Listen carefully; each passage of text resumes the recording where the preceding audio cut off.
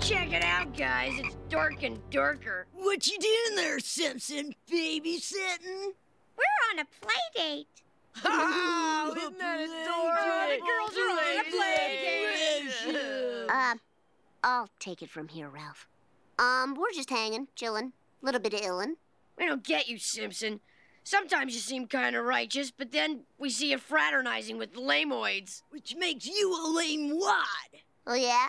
Would a lame wad have the police master key? Whoa!